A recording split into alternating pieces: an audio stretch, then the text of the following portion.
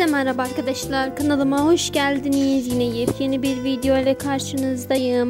Sizlere yenilikleri bildirmek için aran çalışıyorum. Sizler de videomu beğenip kanalıma abone olup bana destek olursanız çok sevinirim.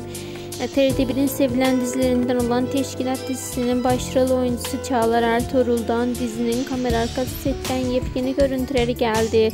Ben de görüntülerini sizler için derledim diziye ve kendisine dair her şey kanalımda. En son yeniliklerden haberdar olmak istiyorsanız kanalıma abone olup bildirimleri açık tutun.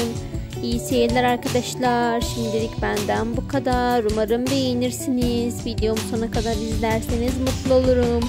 Videomu beğendiyseniz beğeni butonuna basmayı unutmayın. Bu gibi videoların devamını gelmesini istiyorsanız kanalıma abone olup bana destek olun.